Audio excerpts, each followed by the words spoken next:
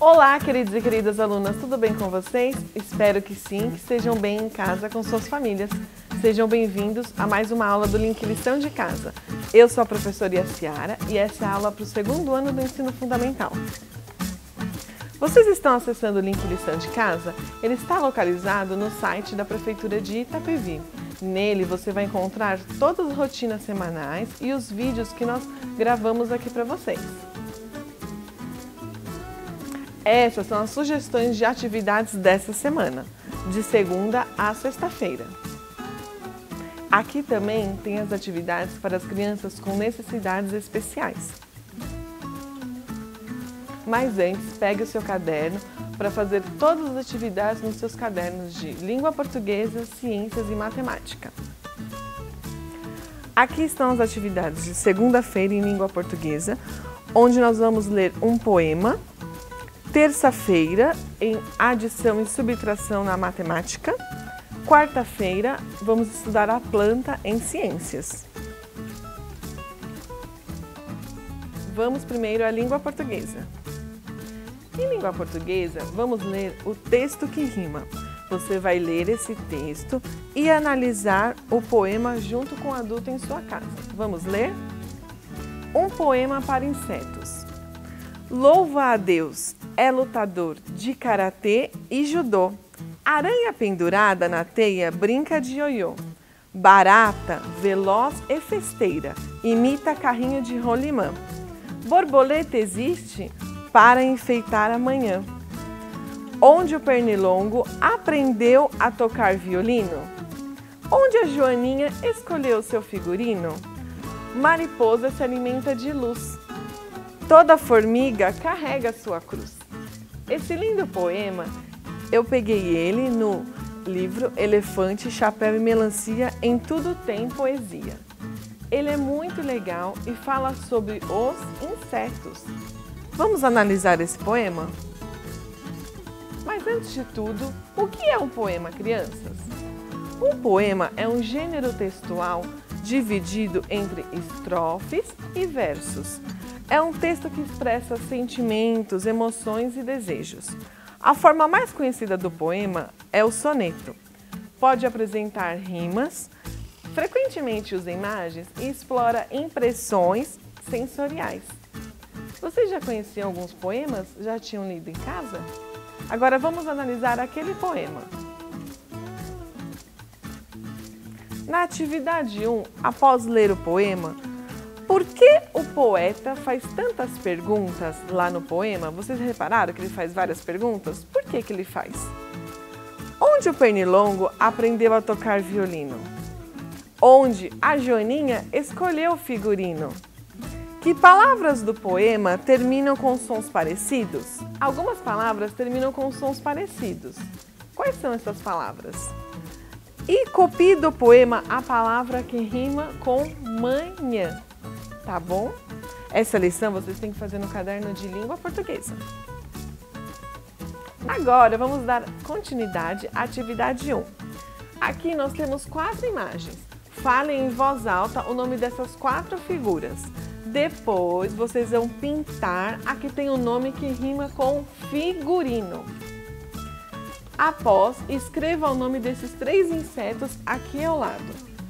Se você ainda não escreve em letra cursiva, pode escrever letra de forma. Agora você vai escrever palavras que rimam com o que você escreveu, aqui nesses três espaços. Agora vamos à atividade número 2. Na atividade número 2, nós temos um texto sobre a joaninha. A joaninha é um inseto muito fofinho, vocês não acham? Então, esse texto e essa atividade nós estamos trabalhando com verbetes. Verbetes são quando nós trabalhamos um texto informativo sobre alguma palavra. No caso aqui é sobre a joaninha, que é um inseto. Por isso, após ler o texto com calma, com a ajuda de um adulto, vocês vão responder a essas questões. A primeira é: esse texto serve para A. Divertir, B. Emocionar ou C. Informar? Vai colocar aqui a resposta. Não esqueça que a atividade você também pode copiar o texto no caderno de língua portuguesa. Depois você vai comparar os dois textos. Quais, professora? Aquele, o poema, e esse daqui sobre a Joaninha. E vai fazer um desenho bem bonito. Sobre o que falava o outro texto também. Após você vai preencher essa ficha técnica. A ficha técnica é sobre a Joaninha. A Joaninha se alimenta do que? Você vai procurar aqui no texto. Como ela se livra dos outros insetos? Quais são as cores dela? Onde vive e qual é seu predador? Preencha essas informações aqui e veja que legal como é uma ficha técnica. Você também pode fazer uma pesquisa. Com a ajuda de seus familiares, pesquise internet, livros, jornais e até revistas sobre a joaninha, esse inseto aqui, tá bom? Você vai registrar tudo no seu caderno. Agora vamos à matemática? Em matemática, nós vamos trabalhar adição e subtração. Na atividade 1, você vai fazer as operações e depois pintar os resultados para ver aonde o Roberto está indo. A letra A já tem um exemplo. 35 mais 3 igual a 38. Então aqui já está pintado de amarelo. Você vai fazer da letra B à letra F e pintando os resultados aqui onde estão esses números. Na próxima atividade, que é a continuação da atividade número 1, nós vamos trabalhar, só que dessa vez com subtração. Em um prédio residencial foram instaladas caixas de correio e cada morador ganhou uma chave. Calcule o resultado das operações abaixo e ligue cada cadeado à chave correspondente. A primeira já tem um exemplo também. 43 menos 23. O resultado, 20. Então, nós já ligamos aqui o cadeado à chave. Nas próximas, vocês vão fazer sozinhos com a ajuda do adulto em sua casa, tá bom? Todas as atividades estão no caderno de matemática. Na atividade número 2, agora vocês vão ter que fazer cálculo mental. Como que funciona? Vocês vão descobrir todas as possibilidades de formar duas coleções com nove palitos no total. Desenhe os palitos dentro dos círculos e complete as sentenças. A primeira, observe que o resultado, vocês sempre vão olhar primeiro o resultado. O resultado é o 9. Então, aqui já tem o número 9, o primeiro número. Qual será o segundo? Então, você vai desenhar nove palitinhos aqui. Se o resultado é 9, qual número será que tem aqui?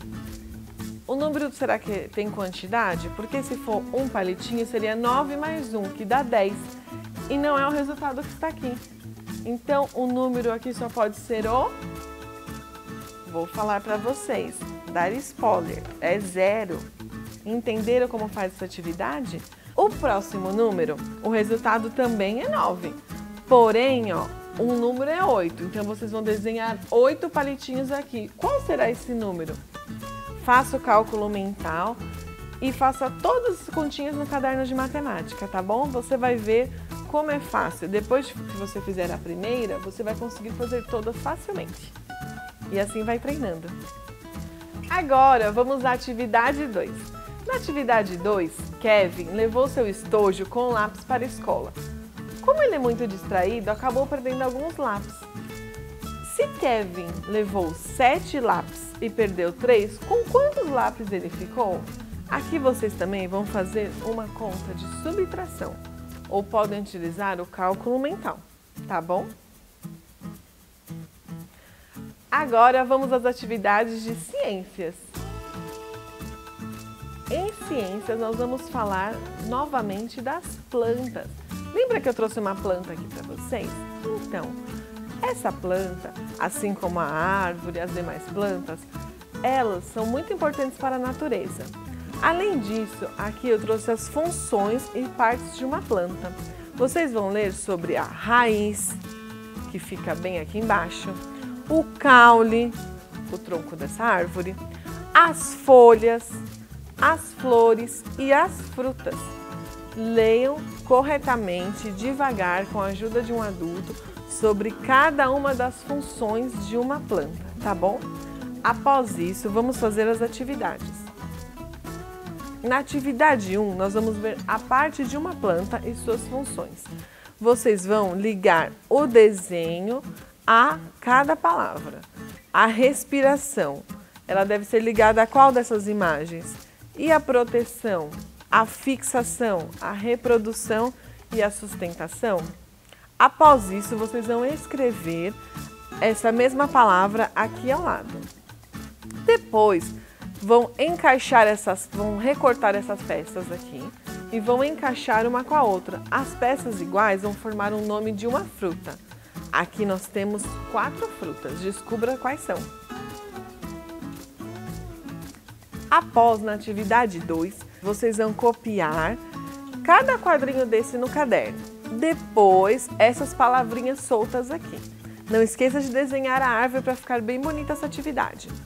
Após vocês fazerem isso, vocês vão recortar cada palavra aqui e colar aqui ao lado, descobrindo qual é a função de cada uma. A flor, qual é a função dela?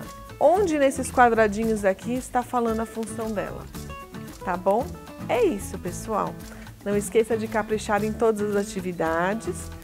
E essas foram as atividades da semana. Espero que vocês tenham gostado. Não esqueça de compartilhar esse link que está aqui no seu vídeo e fique em casa, lave bem as mãos. Se for sair, não esqueça de usar máscara, tá bom? Um grande beijo e até mais!